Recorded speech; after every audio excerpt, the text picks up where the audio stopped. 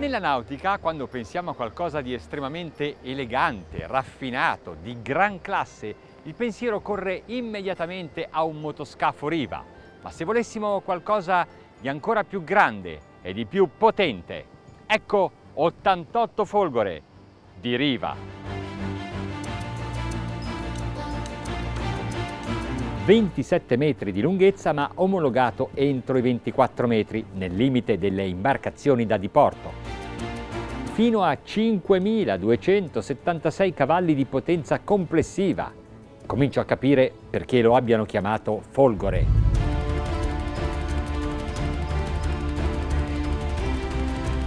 È diverso dagli altri grandi yacht Riva, è più sportivo, sue linee denotano una accurata ricerca di stile e di innovazione, ma sempre con l'intento di farlo riconoscere come un prodotto Riva, anche da chi non lo conosce affatto. Per esempio, i fianchi a poppa non sono spezzati dal boltazzo, che solitamente congiunge scafo e coperta. Il parabrezza alla base cambia la sua inclinazione questo è uno dei nuovi stilemi del brand Riva. Nuovo e classico al tempo stesso. Il corrimano è di carbonio e acciaio, ma l'avviamento della plancia bagno è di mogano.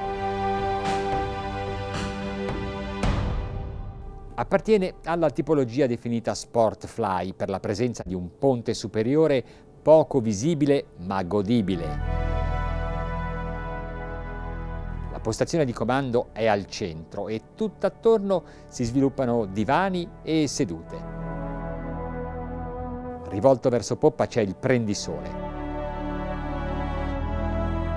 Tutto il fly, come optional, può essere ombreggiato con un tendalino tirato tra pali di carbonio sistemati in un apposito gavone.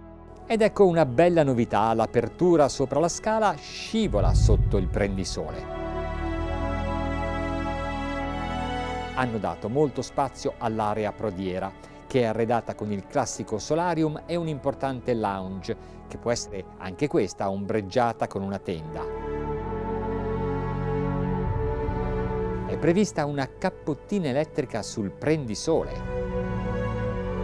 Anche il pozzetto è molto esteso e vi ha trovato posto un bar dotato di piano a movimento elettrico e perfettamente attrezzato per i cocktail. Sul lato opposto c'è un mobile dove potete installare un frigo, un ice maker. I divani possono diventare un prendisole, ma osservate il design dello schienale, minimale, stupendo. I tonneggi disturbano un po' l'eleganza, meglio nasconderli. Nel garage il tender può essere lungo fino a 395 cm e accanto resta ancora lo spazio per la moto d'acqua. Un sistema facilita il varo e l'alaggio, inclinando la piattaforma bagno, che poi torna piana per dare spazio al Beach Club.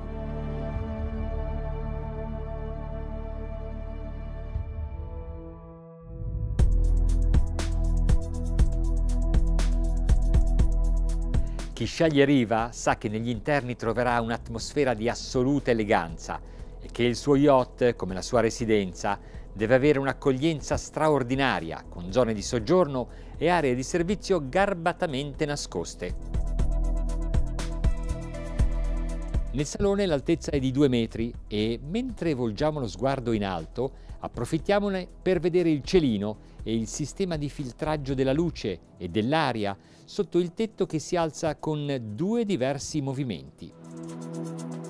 Il tavolo da pranzo è per otto persone. Ci sono due mobili contenitori per piatti, bicchieri e tutto quel che serve per pranzare a bordo. Sembra una decorazione e invece è un utilissimo corrimano.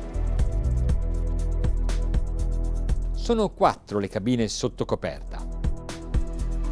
Questa è la suite armatoriale e dovrei descrivervela in modo speciale, ma non trovo le parole. Nella cabina armatoriale l'altezza è di 2,20 metri e la superficie è di 24 metri quadrati. Non ho mai visto una suite di questa eleganza e dimensione su una barca di questa misura.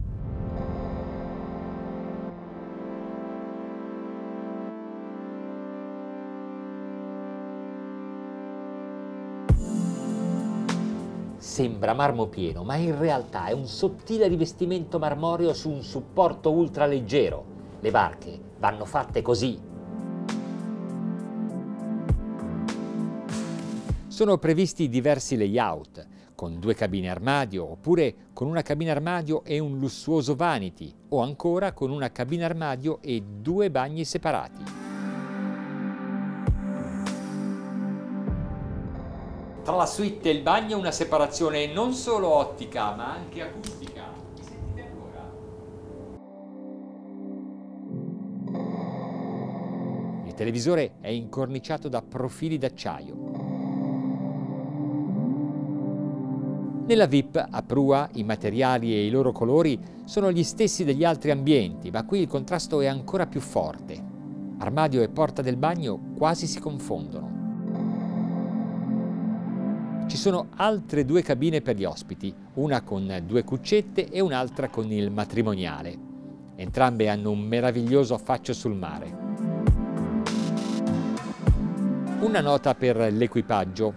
Questo yacht ha un manuale elettronico, quindi per rispondere a qualsiasi curiosità basta effettuare una ricerca digitale e avrete subito la risposta. Scendiamo a vedere la cucina. È chiusa con una porta scorrevole per evitare che gli odori possano salire nel salone superiore. Un paio di dati, 419 litri di volume per il frigo e 247 litri per il congelatore. Questo è il quartiere equipaggio con due cabine, quattro posti letto, la zona mensa, la lavanderia e l'accesso alla sala macchine. A proposito, è ora di andare a navigare.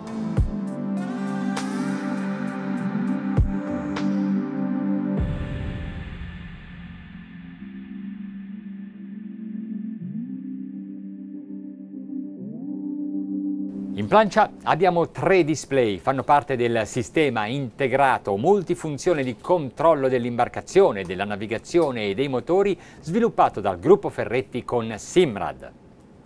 In pratica da questi monitor si può controllare qualsiasi impianto dello yacht. Per esempio adesso attiviamo il joystick e vediamo il comando attivato qui sullo schermo possiamo decidere, sempre da questo schermo, di attivare anche il Dynamic Position System.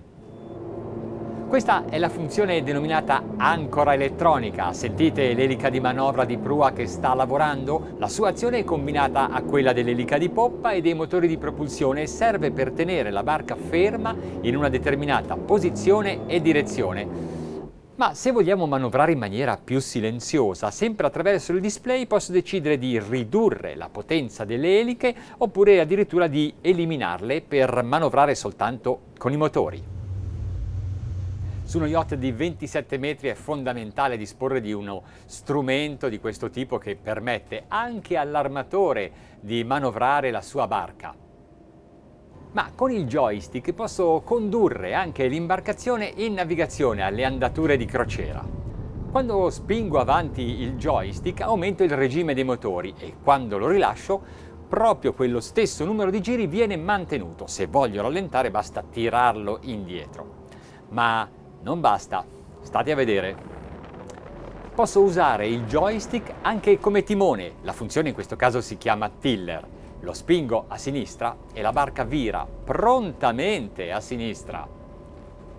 E la stessa cosa, naturalmente, dal lato opposto.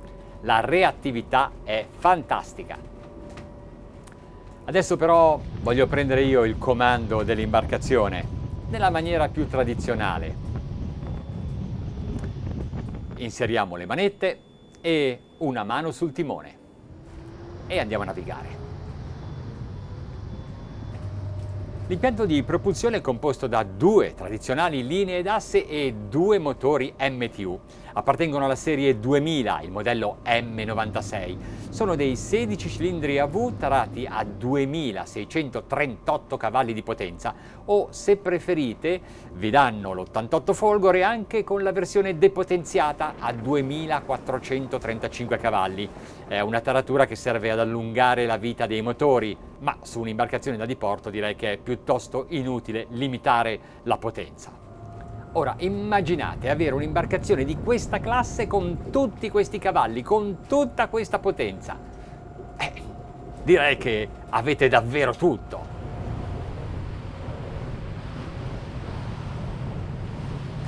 Basta veramente poco per arrivare a 20 nodi di velocità.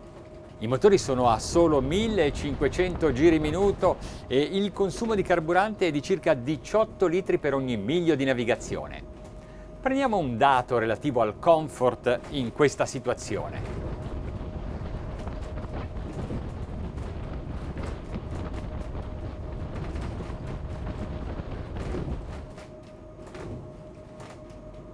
Una media di 65 dBA, tenete però presente che in questo momento stiamo navigando sul mare mosso.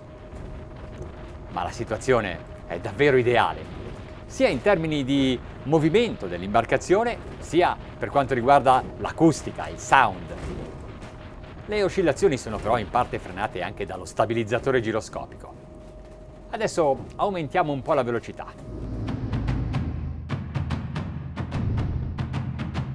Inserisco il sistema automatico di controllo dell'assetto e della sbandata di Humphrey si tratta di interceptor che ci permettono di trovare il giusto angolo di incidenza, in modo che non dobbiamo preoccuparci di trovare le migliori prestazioni regolando noi l'assetto.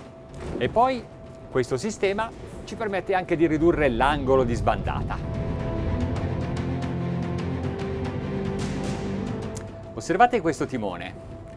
Sto virando, lo lascio andare, torna al centro da solo. Che cosa succede? Si tratta della funzione autocourse sviluppata dal gruppo Ferretti in collaborazione con Xenta. Sappiamo che sugli yacht dobbiamo continuamente tenere una mano sulle manette e una sul timone, perché per effetto della corrente, del vento, delle onde, la nostra direzione non è mai precisa, ma viene continuamente cambiata e noi dobbiamo correggerla. Qui su questo yacht con questa funzione autocourse non dobbiamo fare niente.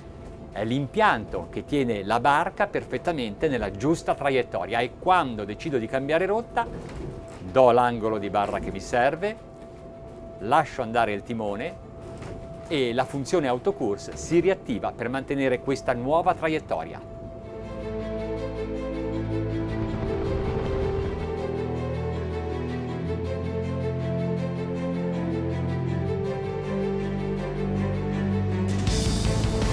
Adesso proviamo ad aumentare un po' la nostra velocità.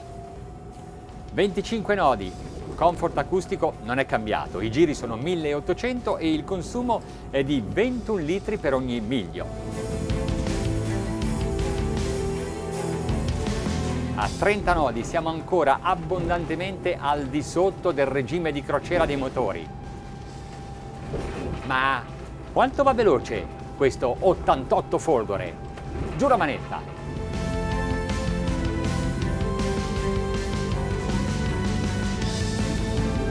Giri stanno aumentando, sta salendo anche la velocità, il GPS adesso segna 37, 38, 39 nodi.